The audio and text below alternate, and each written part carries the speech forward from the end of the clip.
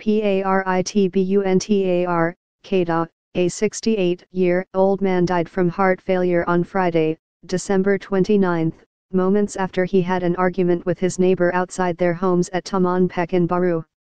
The deceased, Shi Hun Kong, was quarreling with his 52-year-old neighbor after his dog had defecated in front of his neighbor's home.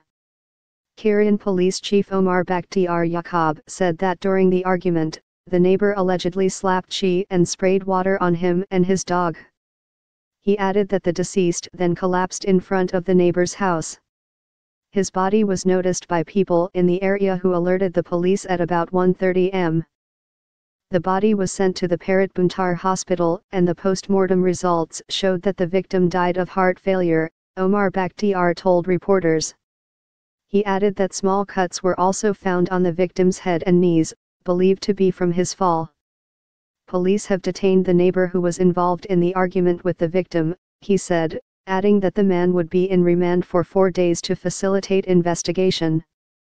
Meanwhile, Shi's wife Tan Po Swan said her husband had heart problems and high blood pressure.